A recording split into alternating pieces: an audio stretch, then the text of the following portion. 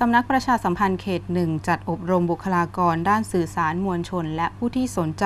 ที่มีความประสงค์จะเข้ารับการทดสอบ เพื่อรับบัตรผู้ประกาศ ในกิจการกระจายเสียง และกิจการโทรทัศน์ ประจำปี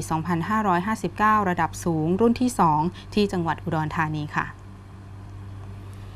ที่โรงแรมบ้านเชียงจังหวัดอุดรธานี นางนิสากรศักดิ์สง่าวงศ์ประชาสัมพันธ์จังหวัดอุดรธานี เป็นประธานเปิดการอบรม หลักสูตรผู้ประกาศในกิจการกระจายเสียง และกิจการโทรทัศน์ ประจำปี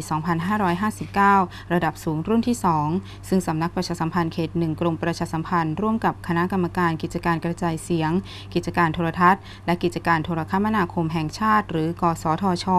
จัดขึ้นระหว่างวันที่ 20-22 มิถุนายนนี้ โดยมีผู้เข้ารับการอบรม77 คน สำหรับการอบรมหลักสูตรผู้ประกาศระดับสูงในครั้งนี้ ผู้เข้ารับการอบรมจะได้รับทราบ ถึงหลักเกณฑ์การให้คะแนนของคณะกรรมการ และได้รับคำแนะนำเพื่อเตรียมความพร้อมก่อนเข้ารับการทดสอบ เพื่อรับบัตรผู้ประกาศ เพื่อเป็นการสร้างความคุ้นเคยและความมั่นใจ ก่อนจะเข้ารับการทดสอบเสียง จากคณะกรรมการของสำนักงาน กสทช ทั้งนี้เบื้องต้นคาดว่า กสทช จะมาดำเนินการเปิดสอบ เพื่อรับบัตรผู้ประกาศที่จังหวัดขอนแก่น ในราวเดือนสิงหาคมนี้ค่ะ